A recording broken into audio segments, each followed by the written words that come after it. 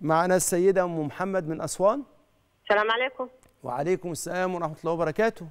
لو سمحت أنا من أسوان. أنا والله من بدري عن الناس تتواصل معاكم الحمد لله تواصلت الحمد لله.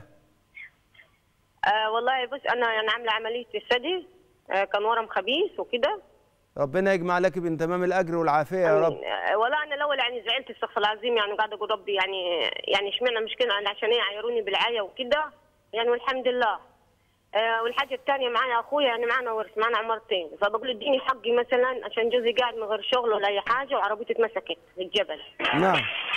فأنا عايزة يعني آه، مثلا ورثي ما رضيش. فدلوقتي أنا عاملة فيه قضية. هل حلال ولا حرام؟ عجب. هو بيقولوا هجاوب حضرتك يا أم محمد حاضر. ما شاء الله يبارك فيك. وهل لي مثلا ربنا يعني هينجيني من اللي أنا فيه بإذن الله لي ثواب فيما بعد؟ أنا بصلي. وعارفه ربنا الحمد لله يعني. حاضر حاضر. أول حاجة ربنا يجمع لك بين تمام الأجر والعافية.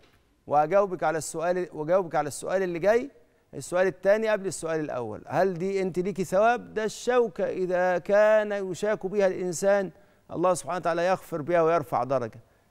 ال- ما أنت فيه من من نعمة الله سبحانه وتعالى يوسع عليك ويكتب لك الثواب العظيم والبركة ويخليك في الدرجات العلى إن شاء الله بصبرك على هذا المرض إن شاء الله.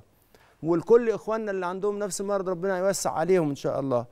والسؤال الأولاني بقى إن أنت عشان بتطالبي بميراثك وبتربي بحقك فرفعت قضية فهل ده حرام؟ أبدا. فإن رسول الله صلى الله عليه وسلم قال فإن لصاحب الحق مقالة.